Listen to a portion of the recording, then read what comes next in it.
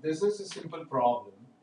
Like sine of step cos x upon 1 plus x. Step, you know, is greatest integer function. Greatest integer function. Here, cos x is under the step function. First of all, we have to understand about cos x. Like what? If you see cos x, cos x graph goes like this. It is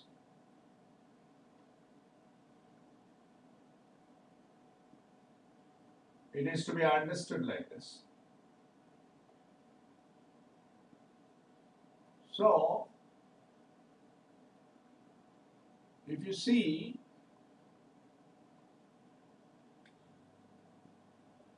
this cos x graph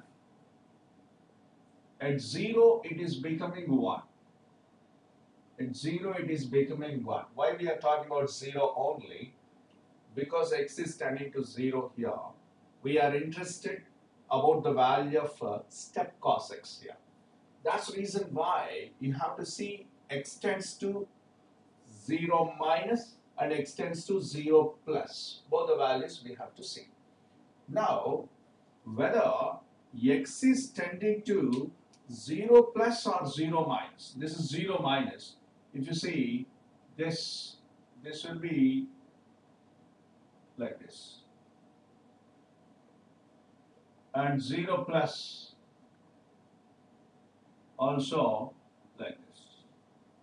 That is what I mean to say here. For 0 plus or 0 minus, this is 0 minus, this is 0 plus. Whether it is 0 plus or 0 minus, it is, it is moving to, just you can see, it is moving to, it is moving to a value, it is moving to a value which is less than 1 which is less than 1 in both the cases. Less than 1 in the both the cases. That means cos x is less than 1.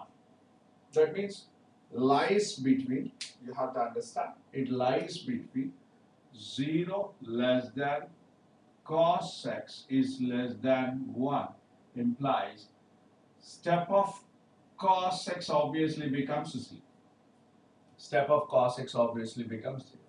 And thereby, this limit becomes limit of sine 0 upon 1 plus 0 as x tends to 0 becomes 0.